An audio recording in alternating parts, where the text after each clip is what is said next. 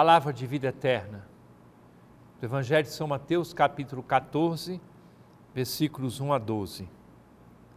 Naquele tempo, a fama de Jesus chegou aos ouvidos do governador Herodes.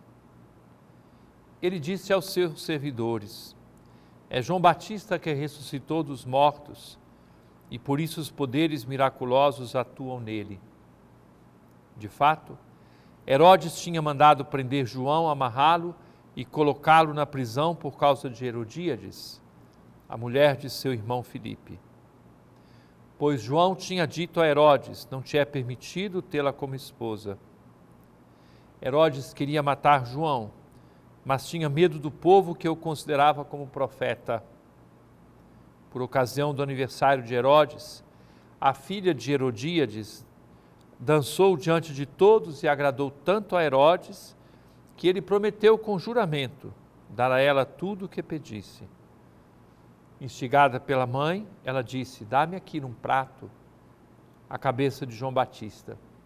O rei ficou triste, mas por causa do juramento diante dos convidados, ordenou que atendessem o pedido dela e mandou cortar a cabeça de João no cárcere.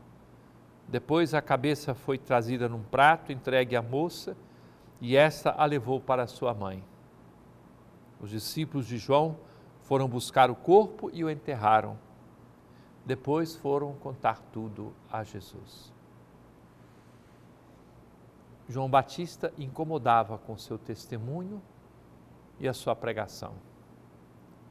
A sua coragem fora do comum para preparar os caminhos do Salvador. Ao mesmo tempo que João mandou fazer perguntas a Jesus. Afinal de contas, devemos esperar ainda ou já chegou aquele que todos desejávamos? Jesus não manda um documento, nem uma carta. Jesus manda dizer a João aquilo que estava acontecendo. O bem se espalhava, a cura das pessoas, a conversão, a evangelização dos pobres. E João não fala mais nada. Mas ainda, Logo depois, como ouvimos agora, tem a sua cabeça cortada. Por quê? Era preciso que Jesus crescesse e ele diminuísse.